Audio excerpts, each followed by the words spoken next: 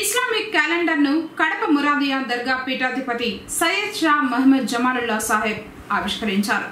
పుంగనూరు పట్టణంలో స్థానిక మహదీన్ నాయక్ వీధి మురాదియా వెల్ఫేర్ ట్రస్ట్ ఆధ్వర్యంలో ఇస్లామిక్ క్యాలెండర్ ఆవిష్కరణకు ముఖ్య అతిథిగా కడప మురాదియా దర్గా పీఠాధిపతి సయ్యద్ షా మహమ్మద్ జమాలుల్లా సాహెబ్ హాజరయ్యి ఆవిష్కరించారు. పీర్జాదా సయ్యద్ షా జమాలుల్లా బాషా వారు ఆదర్భంలో ఈ క్యాలెండర్ ఆవిష్కరణ జరిపబడినది కావున అందరిని ఏం తెలియజేయడం అంటే ఉర్దూ మాసం ఉర్దూ మాసాల్లో క్యాలెండర్ ఉర్దూ మాసాల నెలలు తెలుసుకోవడానికి ఈ కార్యక్రమం అందరికీ తెలియజేయడం అనేది ఇందుమూలంగా పురాణ కాలంలో పురాతన కాలంలో పుంగూరు పట్టణంలో ఈ హజరత్ నజరుల్లా సాహెబ్ గారి ఇదే తరపున పుంగూరు ప్రజలకు ఆశి ఈ దీవెనలు ఆశించి ప్రార్థనలు చేసి వాళ్ళు స్వేచ్ఛ కోరిచ్చినారు ఇందుమూలంగా వారి మనవుడు అయిన జమలుల్లా భాష వారు కూడా పుంగూరు పట్టణంలో పుంగూరు పట్టణ ప్రజలందరినీ ఆ దేవుని దగ్గర ప్రార్థన చేసి ఆశిస్తూ ఎంతో మేలు سب سے پہلے آپ کو اور آپ کے گھر والوں کو اسلامی نیا سال بہت بہت مبارک ہو۔ آج مرادیا بلپٹیش کی جانب سے اسلامی نیا سال چودہ سو چالیس ہجری کیلنڈر اوپننگ کیا گیا ہے اور اسی خصوصی مہمان میرے پیر و مشرق پیر زادہ سید شاہ محمد جمال اللہ پاشا صاحب کے ہاتھوں سے صاحب خبرہ ڈسٹرکٹ گورنمنٹ سرفاجی ہیں، مسلم جج ہیں۔ سجاد نشین آستانہ مرادیہ ہی اور مرادیہ اگر ٹرسٹ کے چیئرمین ہی صاحب شبلہ کے مبارک خاتون سے اس مرادیہ ویلفیئر ٹرسٹ کی جانب سے کیلنڈر اوپننگ کیا گیا ہے۔ امید کرتا ہوں میں آپ سب کی دعا اس مراجعہ ویلفیئر ٹیسٹ پر رہے گی۔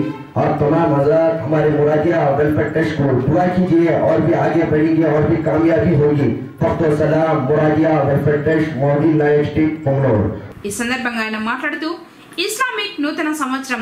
ఒక వెయ్యి నాలుగు వందల నలభై హిజ్రీ ఇస్లామిక్ క్యాలెండర్ ఆవిష్కరణ చేయడం జరిగిందన్నారు.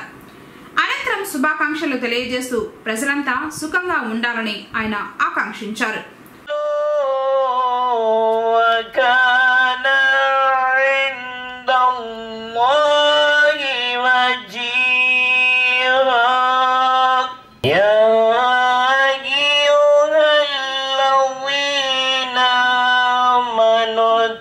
اتقوا الله وقالوا على الإسلام ومن توفيته منا فتوفه على الإيمان.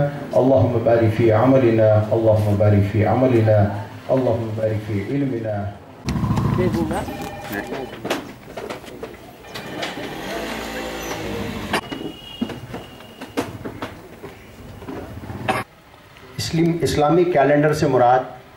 چاند کے مہینوں سے ترتیب دیا ہوا۔ اب بولیں گے کہ دوسرے کیلنڈروں میں بھی چاند کے تواریخ مہینے ہوتے ہیں نا بالخیل ہوتے ہیں۔ لیکن کس طرح سے ہوتے ہیں؟ انگریزی تواریخ انگریزی مہینے سے وہ جڑا ہوا کیلنڈر ہوتا ہے۔ یعنی جنوری سے دسمبر تک کا۔ ہر کوئی انگریزی مہینوں، انگریزی تواریخ پر عمل پیرا نظر آتا ہے۔ جبکہ اس کی شروعات حضرت عیسیٰ علیہ السلام کے ہجرت کرنے کے بعد سے ہے۔ حضرت عیسیٰ علیہ السلام والسلام کے ہجرت کرنے کے بعد سے۔ اب یہ ہجرت کی شروعات نبی پاک صلی اللہ علیہ وسلم مکے سے مدینے کی طرف ہجرت کرنے کے بعد سے یہ ہجرت کی شروعات ہوئی۔ لیکن مہینوں کا معاملہ تو درمیان ہی میں شروع ہو چکا تھا، تواریخ پر بھی عمل تھا۔ تو صحابہ اکرام تاریخ مہینوں کو لے کر چلتے تھے۔ اب وہ سلسلہ چلتے چلتے یہاں تک آیا کہ تقریباً سمجھو کہ ہمارے بڑے اکابرین جیسے ہمارے باپ، دادا، پردادا جس طرح سے آگے بڑھتے جائیں گے، تو پختگی کے ساتھ ان میں ایک ماحول تھا۔ چاند کی تاریخ پر عمل کرنا، مہینوں کو جاننا، مہینوں کے مطابق کام کرنا، یہ ساری چیزیں تھیں۔ اب تو اس ماحول کے تحت، اس بات کے تحت میں ایک بات یہ بھی بتانا چاہوں گا کہ علامات قیامت میں ایک بات ہے۔ کہ مسلمان جب چاند کے تواریخ بھول جائے تو سمجھ لینا کہ قیامت قریب ہے۔ آج بہت سے مسلمان چاند کے تواریخ کو چھوڑ کر یا بھول کر زندگی گزار رہے ہیں۔ اس طرح سے نہیں کرنا چاہیے۔ باقیقی کے ساتھ اسے یاد رکھنا چاہیے۔ اس لیے کیلنڈر اس طرح سے ترتیب دیا گیا ہے کہ چاند کے تواریخ بڑے بڑے، انگریزی چھوٹے چھوٹے۔ اب انگریزی پر تو کسی طرح سے بھی ہم عمل کریں گے۔